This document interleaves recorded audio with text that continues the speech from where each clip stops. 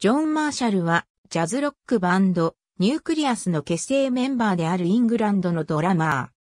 ー。1972年から1978年にかけて、ロバート・ワイアットに代わって、ソフトマシーンにドラマーとして加入した。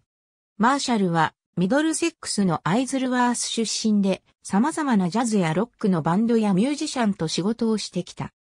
その中には、J.J. ジャクソン、バーニー・ケッセル、アレクシス・コーナー、グラハム・コリアー、マイケル・ギブス、アーサー・ブラウン、キース・ティペット、センティピード、ジャック・ブルース、ジョン・マクラフリン、ディック・モリッシー、ヒュー・ホッパー、エルトン・ディーン、ジョン・サーマン、チャーリー・マリアーノ、ジョン・アバークロンビー、アリルド、アンデルセン、エバーハルト、ウェーバーのカラーズなどが含まれている。